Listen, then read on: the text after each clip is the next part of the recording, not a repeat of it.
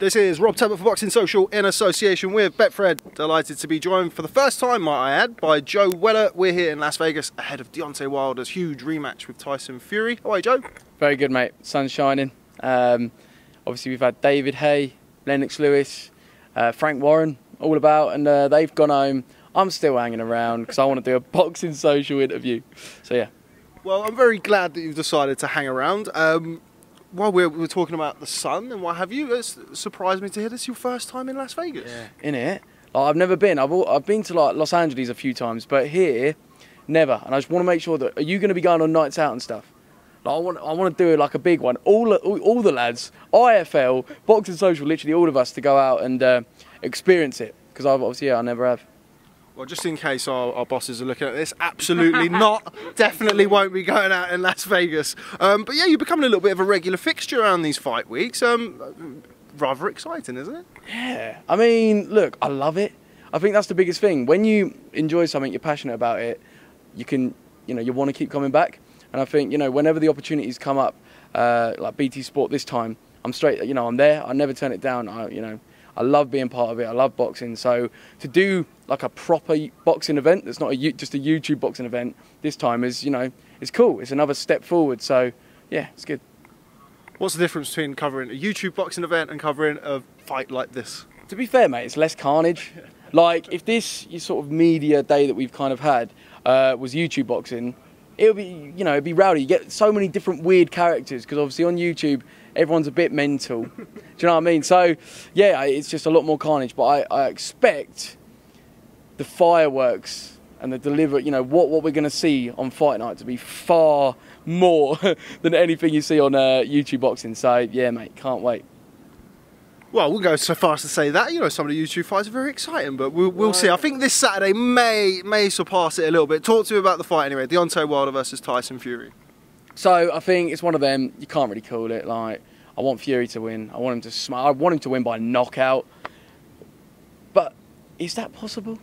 Like realistically, it's a 19 stone bloke that can box that has knocked people out like many times. But he should be able to do it, and uh, you know that's what I'm hoping for. But at the same time, you know, like Wilder says, he has to be perfect for two seconds. While uh, Fury needs to do it for you know for the whole match. Wilder needs two seconds and the momentum that he's got, you know, he's done some, you know, some serious damage on his last opponents. He's got momentum. He's got the confidence. I, I feel like compared to last time, Wilder's going to be better. Whereas is Fury going to be better? You know, he's got that cut on his eye. That if that goes in the first couple of rounds, mate, it's that's going to be horrible, and it's going to really, you know, will have an effect. So it, it, looks like it's leaning more towards Wilder. You know, David Haye is adamant that Wilder's going to do it, but uh, yeah, I just hope Fury pulls through. What did you make of the first fight? Mate, oh, I've never been so emotionally invested. Like watching from every every second of that fight, I was stood up, like literally.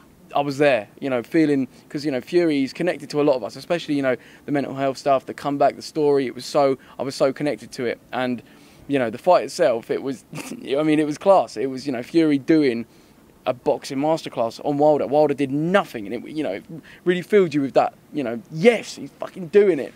Um, obviously, the last round where you know the knockout and well, the knockdown, that was that was the worst thing. I thought it was over. I thought it was out, and to see him come back and then fucking take the piss with his arms behind his back, you know, it was just, it was class. And I just hope that he brings that and adds to it and just wins that's just what I want. I want a Fury win. You're pretty revved up for this, aren't you? Mate, so revved up. just talking about it, like I love it. Uh, and I think that's the big thing, you know. The whole YouTube boxing stuff is one thing, but actual you know, actual boxing, I love it. I, you know, if not even more. Well, obviously, yeah, more. That's what. That's why I got into the sport, following actual boxing. So, yeah, man, I, I can't. I cannot wait for this fight. Obviously, you fought yourself, but how has your how's your views on boxing changed? The more events you've covered, the bigger the fights that you've covered. How are you different as a boxing fan or a boxing enthusiast than you were when you first kind of took an interest in the sport? Yeah, I think well, having the camp, actually training, learning about boxing. You know, even though I didn't necessarily do anything on the night, you know, you learn so much just training, and I think that helped me understand more about the actual sport and when I'm watching it. So there, you know, I became so much invested, and then actually being here feeling it because you don't feel it like you know, you know when you're here you're on each day you know going to the weigh-in going to the press conference feeling the, the momentum of the event build up as you go into fight day. It's not, you can't really compare, it's like nothing else. It, it- you know, it's so good, and I, every time it's just getting me more and more addicted to the sport. So, yeah, mate, it's class. You've said in the past that you don't want to box again, but we were just inside and you were shaking out, having a little bit of a shadow box and, and showing us the moves. What, what, what's that all about? Is that, we got a re- uh, return to the ring coming soon? Mate, look, I love boxing, and that's what it comes down to. Like, I was in the gym 5 a.m. this morning, shadow boxing. I I enjoy it, you know. I think I say this on every interview, pretty much when I'm asked about the whole, you know, am I going to step inside? And I think you should only step inside when you genuinely want to fight. When you there's, you know, you want to fight. And right now, at this moment in time, I'm, I'm there's no one I want to fight. So I think, yeah, I'm enjoying all of this, you know, being part of it, learning more about boxing, getting more into it, getting my foot in the door with the hopes that, you know, when I'm like 40 years old, I'm like the front man of what, whether it's boxing, whether it's football, like some form of sport, I want to be like the front man, presenting it, doing, you know, that, that guy, he's the guy that does the whatever sport it is. Because I think, you know, when I get invested, I, I can really, I can do it, even though on paper people can look and go, he's got no credibility. Well, he's done one YouTube fight and done, thrown no punches. Who, who the fuck is he? But I think, you know, I believe that when I get invested into something, no, I can, I can do it. So, yeah, um, that's the aim to continue with this and see where it goes. Well, I'd like to say I'd welcome you into the uh, online YouTube boxing market reporting, but I don't really want to be out of a job.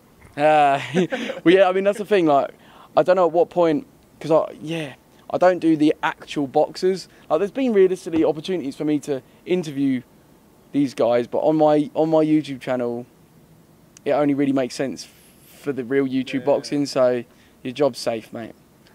Well, thanks. That's nice to hear. Um, you've mentioned about YouTube boxing, and what it might take to tempt you back into the ring. I heard you saying to uh, Mr. Kugan Cassius over there that maybe YouTube boxing is maybe dead or maybe dying out. Oh, what can you tell me about that? Because obviously we saw Jake Paul versus Gib not too long ago. Jake Paul versus KSI is all, all, all the rage at the minute and all the talk at the minute. Where are we going with YouTube boxing? Where can you see it this time next year? I think, look, the KSI Jake fight, that's the big one. You know, we want it. Well, a lot of fans will say they don't want it. You know, a lot of fans want to see Jake Paul done. They don't want to, him to have that opportunity. But I think it's going to happen. Maybe not this year. I think next year JJ's going to want want to make Jake wait, lose momentum, and then it will happen. But in terms of other fights, I think obviously Aneson Gib wants to fight, Deji wants to fight. Apart from that, I mean, there's not really many credible matchups uh, that people will get behind. You know, YouTube is like Logan Paul going against Antonio Brown, who's obviously the NFL star. Like that's cool, and I think he's made it to a point where people are sort of invested, but it it will not have the traction that two YouTubers going at it has. And when there's not many YouTubers that are wanting to do it, it's like you you can't I just can't see how it's going to keep going on and on and on unless DAZN turn around and be like, "Oi, well, mate, it's two mil." Like you know, uh, that's the thing. It has to be serious, and I think the serious money will tempt people. And obviously, you know, I do say don't do it unless you want to fight, but that is a factor. Like if DAZN turn up, if DAZN came to me and said, "Well, mate, uh, we know you secretly like boxing, as in like you love actually doing it. Is is this paycheck? Fight Deji." I'll probably be like, "Yeah," but at the same time, I um, yeah, like anyone watching, I've, I'd, I'd say to do something as brutal as this sport, you ha- your head has to be fully into it, not just oh, I'm doing it for a paycheck.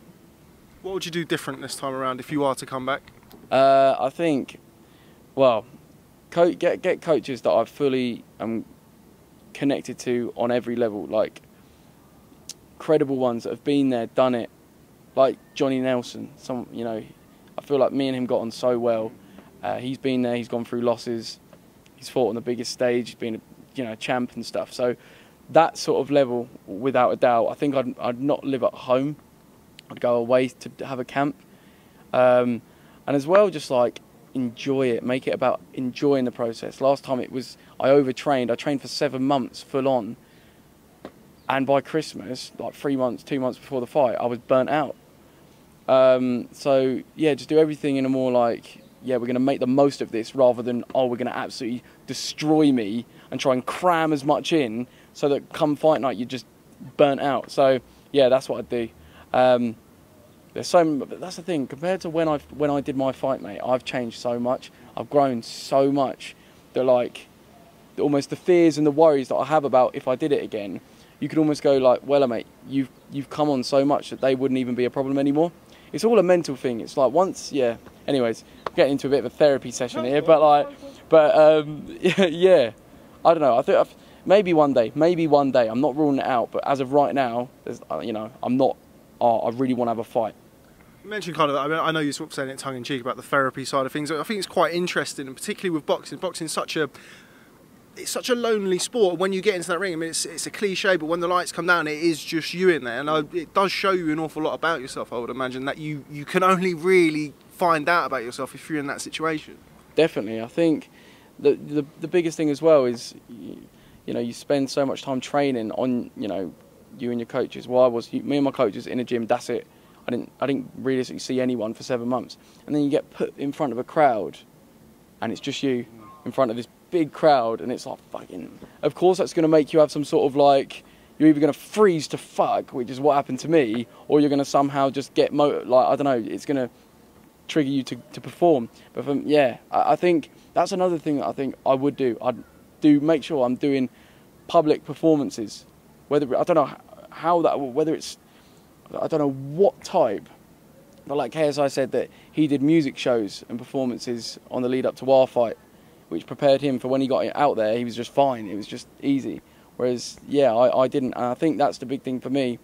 When I can do all the training in the world, but I often bottle it when it gets in front of the, the crowd situation. So if anything, I'd do, I'd do, I'd focus on that more, more, more than anything. What they say about the game is it's, it's a more mental sport than it is physical, and when you consider how much of a physical sport it is, that's quite an interesting um, way of talking about it. Okay, before I let you go, somebody told me once that you had said or you'd made comments about potentially one day being a promoter. So I'm going to give you your promoter's license right now. Make me a YouTube card. So you've got three fights. We'll allow you to headline because it's your show. Headline, So who are you fighting as the headline and who are your chief support fights? Well, the biggest fight that they're boxing today is the KSI versus Weller rematch. So, I mean, it just is. Like that's the one that the UK would. Oh mate, we all want to fucking see it realistically. Yeah. So that's that's topping the bill. and then undercard, you've got. You've got. Oh wow, can I do a triple threat match? it's in like I don't know because you, the rivalry of UK versus America is huge. You'd almost say, yeah, you want the Jake Paul versus uh, Deji. Nah, I don't know because I don't know if that would bang as much. But um,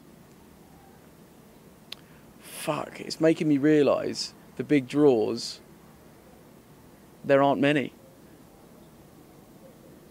You'd go, okay, yeah, you'd go Jake Paul versus Deji on the undercard, the rematch of that, and then also Logan Paul versus Aneson Gib. I'll do that. Okay. Yeah, I'll do that. I'd, I'd put that one forward and just see.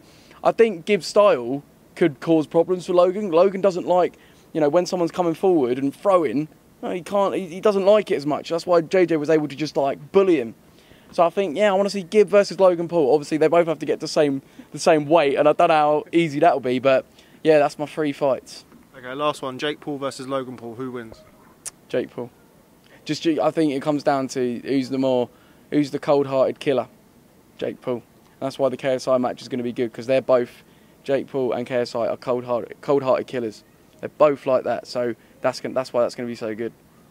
Okay, well, Joe Weller, I've seen so much of you on the channel, but yet to have done an interview with myself, so I'm glad we've ticked that off. Thanks very much for speaking to Boxing Social, as always, not just to me, but obviously our other guys. Uh, look forward to catching up with you soon, mate. Respect. Enjoy the fight, mate. Mate. Nice one, lovely. No